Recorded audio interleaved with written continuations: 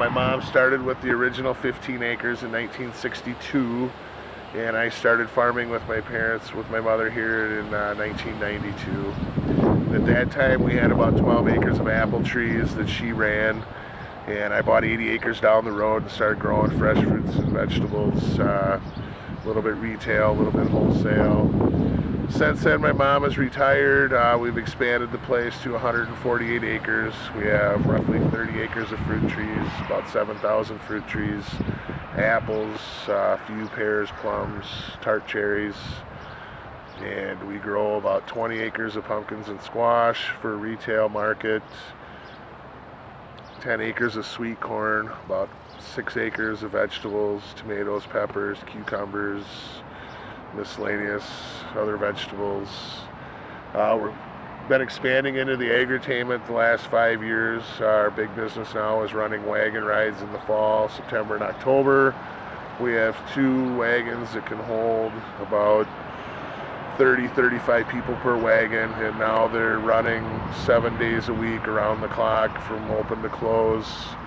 And probably going to have to be expanding to a third tractor and wagon this year keep up with demand.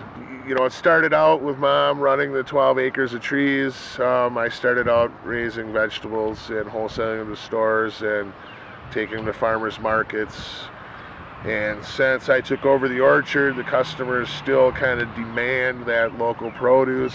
So we, you know, no matter how much I'd like to just do the fall market stuff, uh, we still raise a lot of sweet corn and vegetables because the demand is there retail customers like our farm market here on the farm. And so it's kind of hard to get away from that. So we are pretty diversified. Um, you know, we do have some asparagus and strawberries in the early summer.